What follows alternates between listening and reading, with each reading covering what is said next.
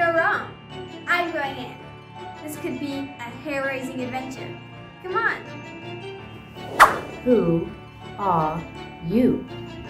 My name is Alice, Your Majesty. Very merry and birthday to you, March Hare. About time. Shh, keep it down, she'll hear you.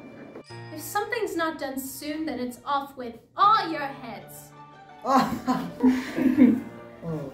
I wish I was big like you so I wouldn't have to do this boring stuff. What size do you want to be? Drink me.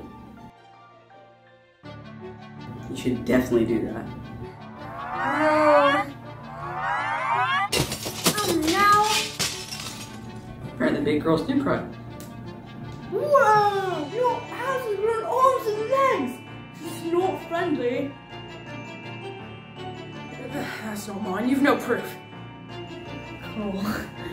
Off with his head! William the Conqueror, whose cause was favored by the Pope, agreed to disagree.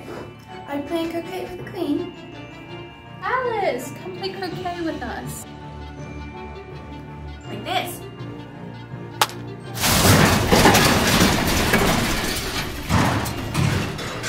Dear, you really must cross-check the next witness. My head hurts. Okay. Told you to use the bread knife. Now it's gonna get crumbs in it. I don't understand. It was the best butter you know. Mostly pepper. Ah, chew! Ah, ah, chew! That's disgusting. I'm late. I'm still late.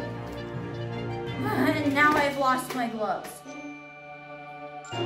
Sorry.